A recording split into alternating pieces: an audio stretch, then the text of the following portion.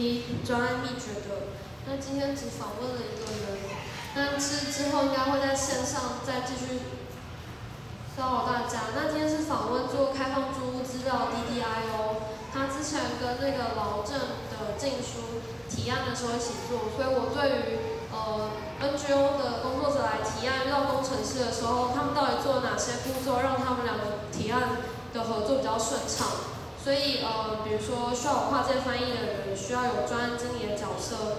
呃呃，先确认资料栏位，或是确认里程碑的这种方式。那之后会想要再继续访问大家，就这样。